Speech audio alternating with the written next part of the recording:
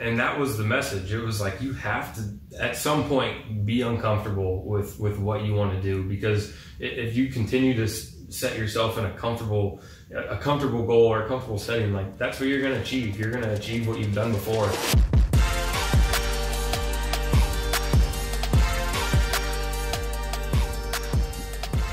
Welcome back to another episode of The Burn. Now, there are burn episodes that I get excited about, and then there are burn episodes that are special. And the reason why this one is special, many, many reasons, is because Easton Stick does not like doing interviews like this. So I gotta do that to loosen him up a little bit.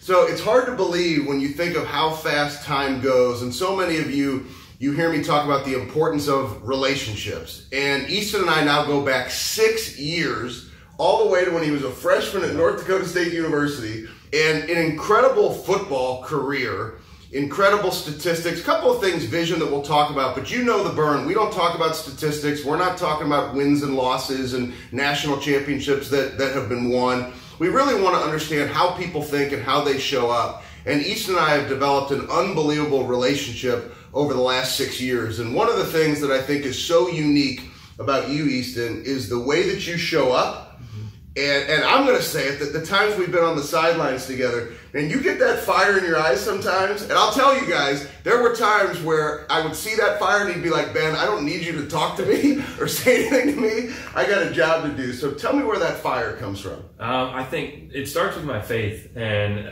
I think I, as I got older and, and, and learned a little bit who, who I was and who I wanted to be, uh, that became more clear to me that, that when I was centered and focused on my faith, then the rest of my life kind of fit where where it needed to fit. And so it starts there, and then it goes to my family, and uh, they're everything to me. And and watching my parents and, and really my grandparents, all my extended family, they've made so many sacrifices um, in their own lives so that myself and, and my younger brother could be successful. And um, and we weren't spoiled, but there were definitely days that felt that way. Like they, they made sure that that we needed had everything we needed and then some, and then um, I think watching my parents work and, and seeing that work ethic and and uh, you know my dad was an athlete and, and so just being around him and, and hearing you know the way he thought about things um, and, really laying out to me like look if you want to be good uh, I'm not going to push you and, and make you do anything but here's here's what it looks like and and if you really want to be good this is this is what needs to be put into it and so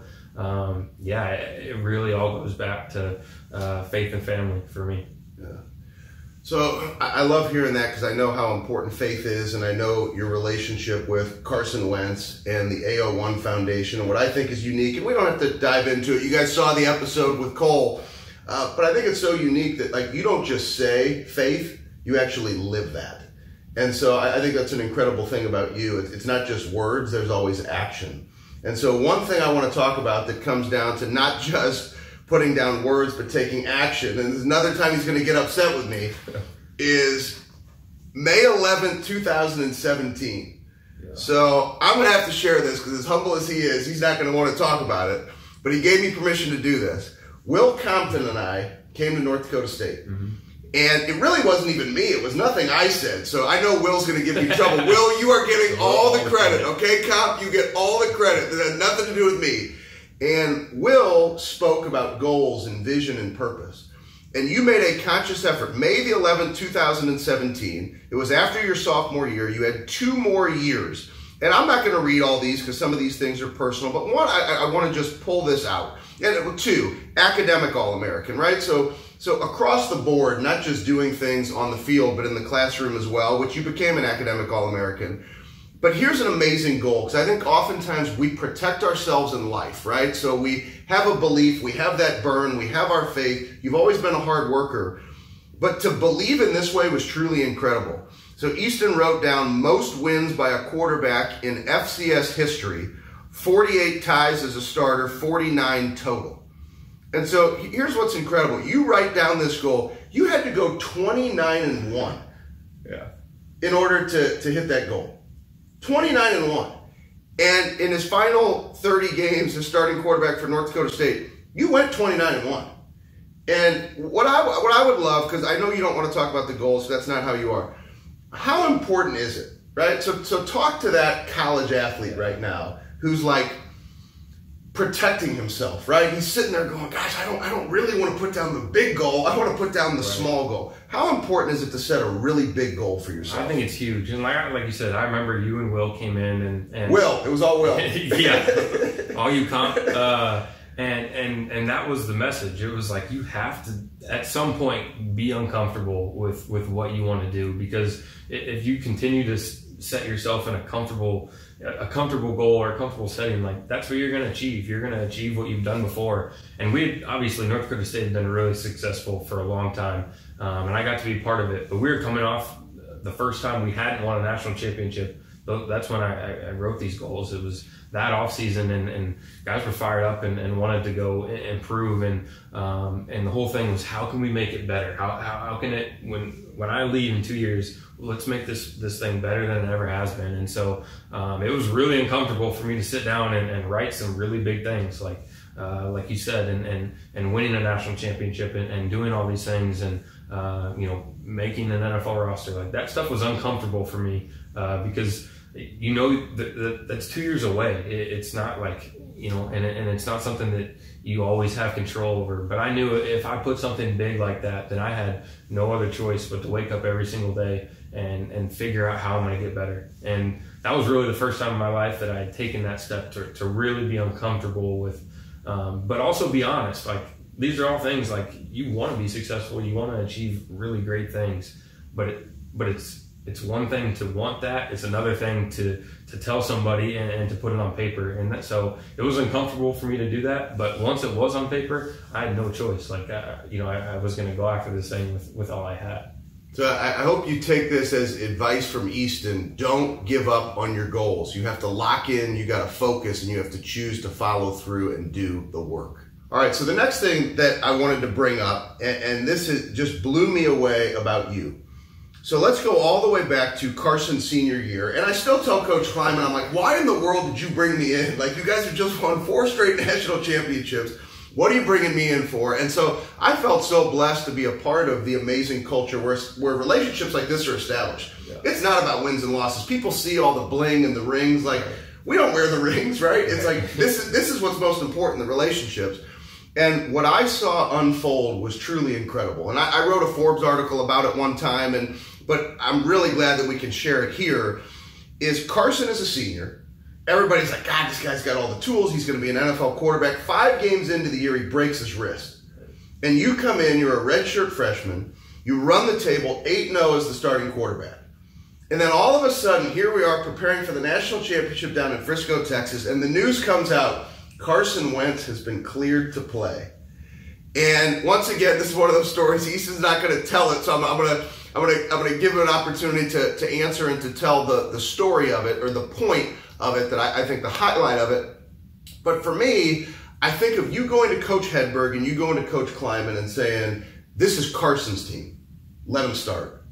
And once again, for all of whether it's a young athlete, whether it's somebody in business who's trying to make it all about them, help me understand. Because I still look back on that. It is so rare that somebody would do that, right? Because so many people would say, no, no, no, this is my team now. Yeah. Like, is his wrist really okay?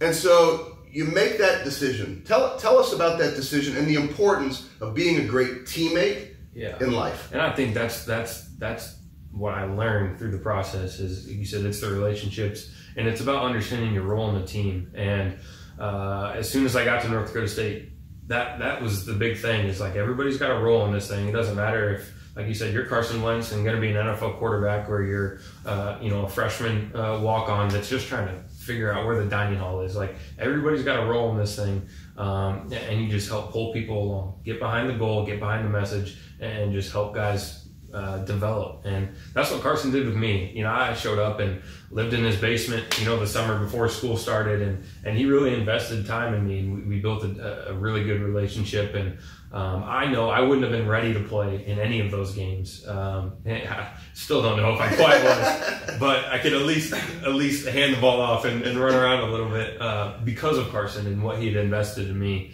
And uh, Carson waited three years to be the starting quarterback there. He put his time in. He learned from Brock and, and other guys like what the culture means and, and like you said, what it means to be a, a teammate, a good teammate. And so uh, seeing him and hearing those stories, um, and he finally had his ch- chance as, as the you know senior captain, and, and he's the guy now we can all rally behind. And gets banged up, and, um, and and we talked about it as soon as it happened. Like, hey, I'm going to do everything I can. Like as a team, like we're going to give you a chance to get healthy, and we knew we could. And and so when he got the green light, I mean it it was it was really difficult as a competitor, you know, because hmm. you put so much time in, and and that's the national championship game. Like you, as a competitor, like that's what you want. You're on ESPN. Like, like, this is this is it. Like this is the pinnacle for our division. Like this is where I want to play.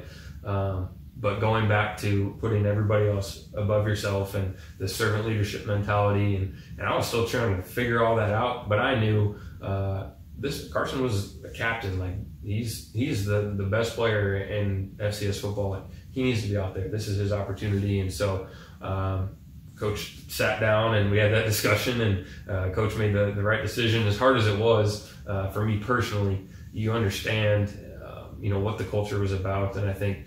Um, that's like you said in, in anything. If you can learn to to be a good teammate and to invest in others, I think you're going to end up getting more out of it, um, you know, than than you're giving to anyone else. So it's actually incredible the way you just finished that answer. And this is this is the last thing I'm going to ask you because I know it's not your favorite thing to do interviews like this, and I appreciate you doing this, especially knowing how much I care about you. You said invest in others. So you're a young guy, you're a bachelor, right? Yeah. You're you're in yeah. Los Angeles, right. right? You could be doing so many things, and you just told me that you want to have a camp back in Fargo. So you want to give back to kids, right? So once again, it's living that walk of faith. It's living that walk of service. It's doing it as a teammate. So tell us about how important it is for you to now give back to kids. Yeah, I think it's huge. Like, I just think growing up as a kid and and watching TV and seeing these athletes or whatever your your deal is. Like for me, it was sports, and so watching guys. You know, you know, I grew up in Nebraska, so watching Huskers and, and watching NFL football, I was like, man, like how cool would that be to get a chance to, to do that?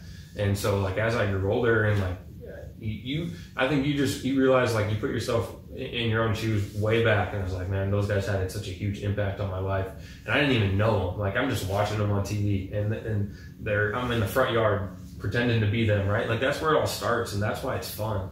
And so now like gaining a little bit perspective and realizing like, yeah, I have an opportunity to do something similar, and regardless of the scale, or if it's you know one one kid that that really loves football or or learns you know how to be a good teammate because uh, we interacted or, or watched me play, man, that that's enough. Like that's awesome. So uh, yeah, hopefully can have a chance to, to get back and whether it's here, Fargo, Omaha, all the communities that you know I've got to be a part of. I, I just think it's uh, important to invest in people because I know, like I said, going back to my family and my parents, they invested in me and made sacrifices for me and and without that, I don't have this opportunity. And so, um, you know, hopefully the time is right, and, and I can do the same thing. Well, guys, I, I hope what you've gathered from this is it's okay to have that fire in your eyes and to cut it loose. But when you cut that fire loose, do it for other people. It's not just about you. And honor your family and honor your faith and do the things that are important. And don't be afraid to challenge yourself to think big, but to also give back for the right reason. So brother, you know how much I love you. I will always be in your corner. I appreciate you and uh, look forward to another great season ahead. Let's do it, man.